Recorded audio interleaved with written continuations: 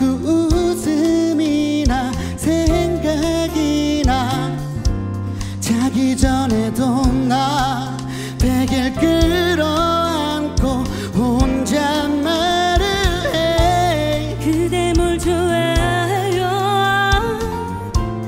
그대 맘속에 난 어때?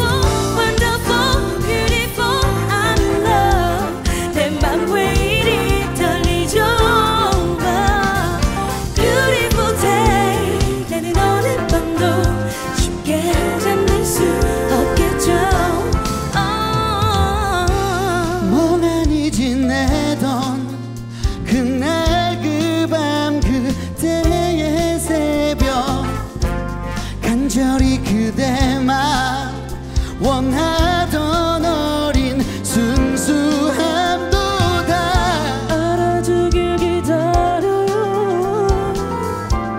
내 맘에 귀 기울여주길